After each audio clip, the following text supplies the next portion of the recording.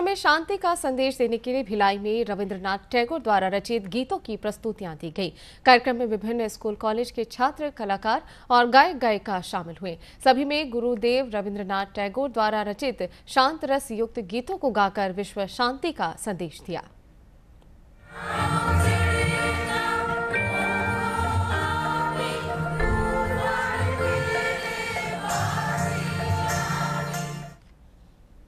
कार्यक्रम का शुभारंभ क्षेत्र के सांसद विजय बघेल ने किया। मीडिया से चर्चा में उन्होंने आयोजन को अद्भुत बताते हुए गीत, वितान, कला केंद्र के कलाकारों की सराहना की।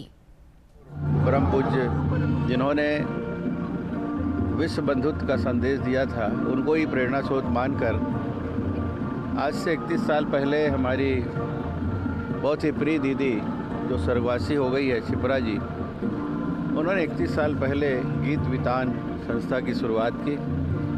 और उसके माध्यम से न जाने कितने हज़ारों जो गीत और संगीत प्रेमी हैं, जो सीखने के लिए उनके मन में एक आकांक्षा थी, उनको इस क्षेत्र में आगे बढ़ाया, जो लोग आज इस भिलाई नगरी का छत्तीसगढ़ का नाम रोशन कर रहे हैं। और आज उनके द्वारा पिछली बार 2000 कंठों का एक सामूहिक गान विश्व बंधुत्व के लिए, के संदेश के लिए किया गया और आज हज़ार कंठों वहीं कार्यक्रम के संयोजक मिथुन दास ने बताया कि शांति का संदेश देने भगवान बुद्ध महात्मा गांधी तथा ईसा मसीह पर आधारित गीतों को भी शामिल किया गया।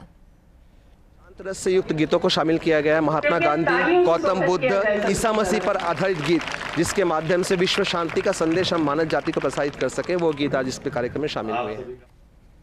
कार्यक्रम में दुर्ग ग्रामीण के विधायक ललित चंद्राकर और कामधेनु विश्वविद्यालय के कुलपति आरबी सिंह विशेष रूप से मौजूद थे।